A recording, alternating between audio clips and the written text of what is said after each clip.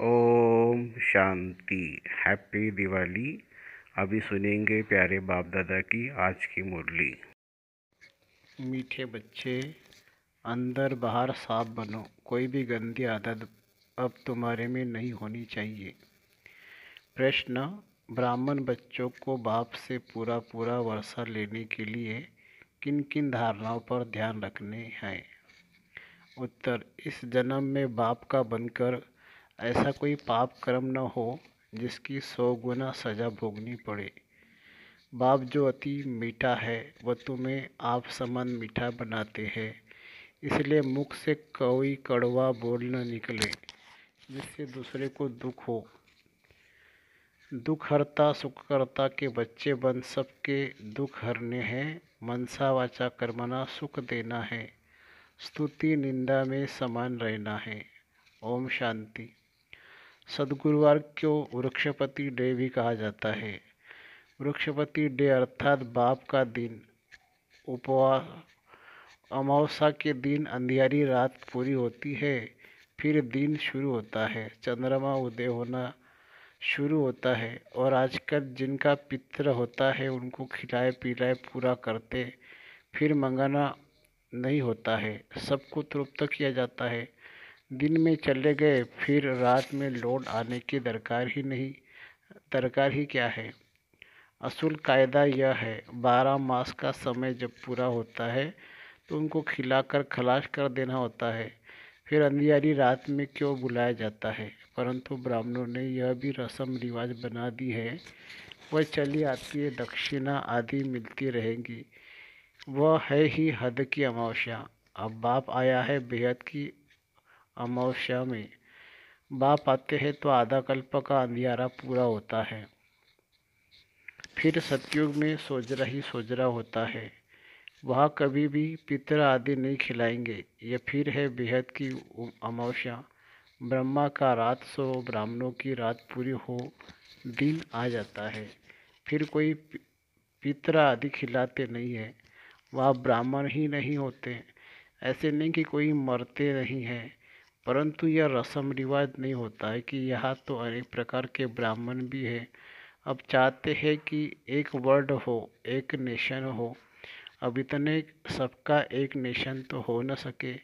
हाँ एक राज्य, एक रस्म रिवाज थी। जब सतयुग था तो वह बाप ही आकर स्थापना करते हैं। वह सब बिल्कुल ही मीठे होते हैं। दुख की बात नहीं होती। कब कड़वा बोलते नहीं है, पाप करते नहीं हैं। अब जो जितना पुरुषार्थ करेंगे, उतना पद पाएँगे। नंबर बार, ऐसे नहीं कि कोई वह चोरी आदि करेंगे। नहीं, अंदर बार साफ़ रहता है। यह अंदर एक, बाहर दूसरे होते। कितना एक दूसरे को नुकसान पहुंचाते हैं। यह सब है रावण राज्य की गंदी चंचलता।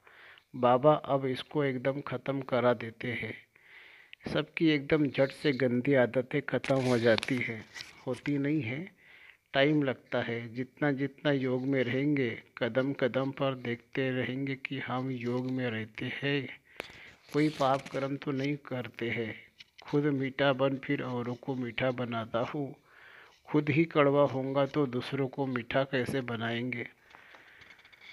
यह ऐसे झट प्रत्यक्ष हो जाते हैं। छिप न सके। बाप कहते हैं हमारा बच्चा बन और कोई उल्टा सुल्टा काम करेंगे तो बहुत कड़ी सजा खाएँगे। पद भी भ्रष्ट हो जाएगा। भगवान खुद बैठ पढ़ाते हैं देवता बनाने के लिए। देवताओं की महिमा गाते हैं। सर्वगुण संपन्न सुलकरा संपूर्ण संपूर्ण निर्विकारी। अहिंसा परमो धर्म। हिंसा तो प्र, दो प्रकार की होती है। एक तो काम कटारी की हिंसा से मनुष्य आदि मध्य अंत दुख पाते हैं। दूसरा फिर क्रोध में जाकर एक दो को मारते, दुख देते हैं। दुखी होते हैं। या तो बच्चों को कहा जाता है, मनसा वाचा कर्मना ऐसा कोई काम नहीं करना है। कोई को दुख नहीं देना है। हम है ही दुख हरता सुख करता के बच्चे। तो सबकी ये युक्ति बतानी है। तुम कैसे दुख हर कर सुख दो? कि ये किए हुए कर्मों का हिसाब किताब चुक तक हो जाता है। या बाप समझाते हैं, इस जन्म में जो कुछ पाप कर्म किए हैं, बतलाने से आधा कट जाएँगे।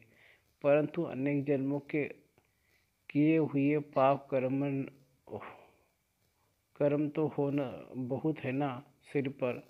अभी बाप समझाते कि इस जन्म में भी ऐसा कर्म नहीं करना चाहिए जिसका पाप बने और फिर योग बल से अनेक जन्मों के लिए पाप कर्म भस्म करने हैं।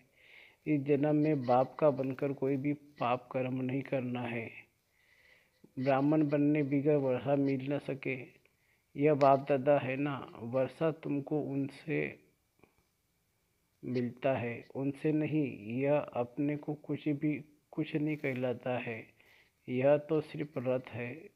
इनसे तुमको कुछ नहीं मिलता है, नहीं।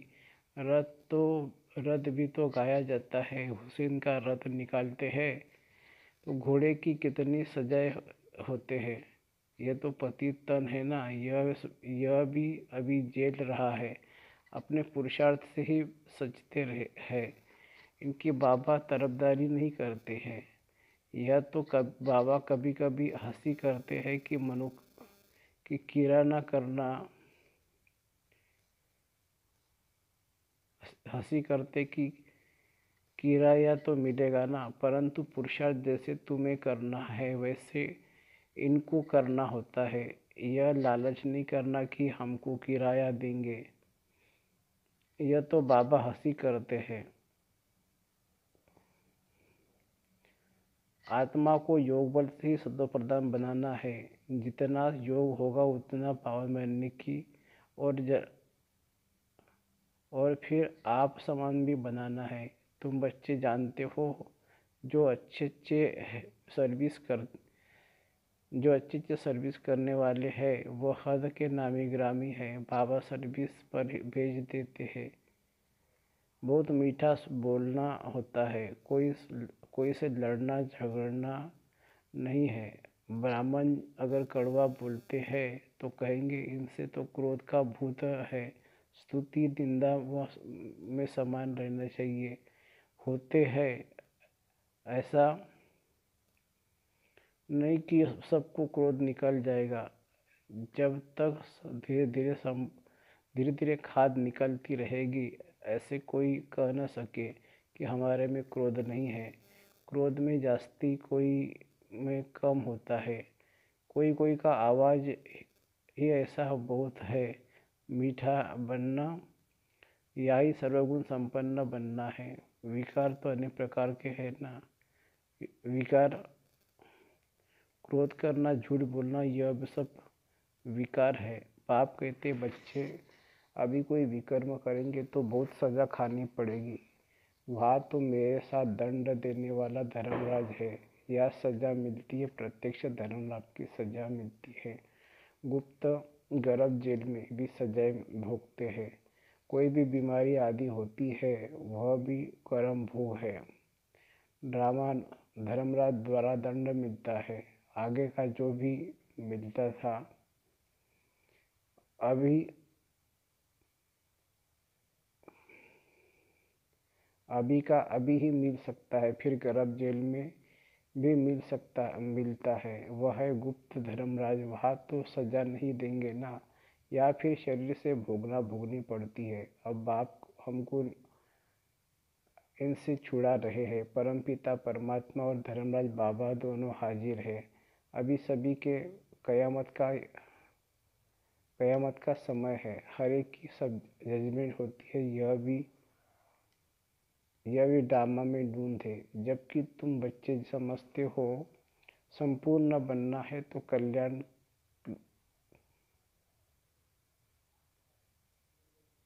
कल्याण के लिए जितना हो सके उतना पूरा पुरुषार्थ करना चाहिए। कल्प कल्पांतर की बात है। वो पढ़ाई होती है एक जन्म के लिए, दूसरे जन्म में फिर दूसरी पढ़ाई, यह इक्कीस जन्मों के लिए। जितना जिस जिससे इक्कीस जन्मों के लिए आशीर्वाद पद भी मिलेगा। बाप से इक्कीस जन्मों के लिए वर्षा मिलता है। तुम बच्चे जानते हो, यह पुरानी दुनिया ही नई दुनिया में भारत अकेला था, अब फिर वह चक्र फिरता है। भारत अकेला था, अब फिर यह चक्र फिरता है। नई नई स्थापना पुरानी पुरानी का विनाश होना है, यह तो गायब हुआ है परम पिता परमात्मा ब्रह्मा द्वारा आकर नई दुनिया स्थापन कराते हैं। ब्राह्मण तो ज़रूर चाहिए ना।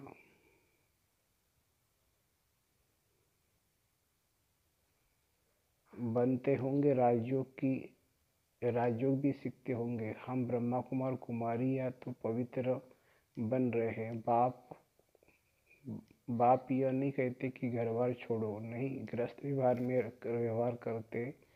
कमल फूल सा अच्छा है, दादे का वर्षा मिलता रहे। तो वह उच्च पद उसते उच्च ब्रह्मा की, ब्रह्मत्व प्रतिज्ञा